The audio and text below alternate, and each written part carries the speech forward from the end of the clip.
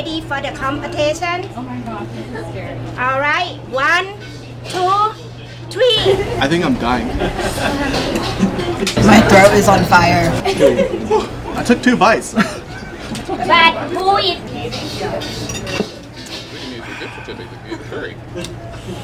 I, I like to watch the food network and the all competition like uh, the hot dog competition and I just come up with my own idea what hey if if I can do the spicy competition I should be different than other place around here I mean, I underestimate how spicy this is.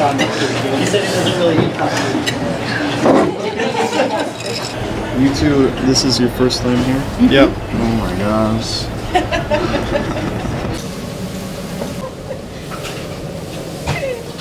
I'm dying. I actually don't think they're gonna make it. yeah, she's the spiciest um, Thai place in Wichita, so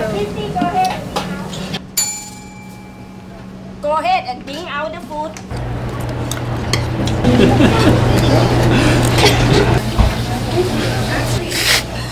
You know, I thought I, had, I might have had an advantage because I'm Asian, but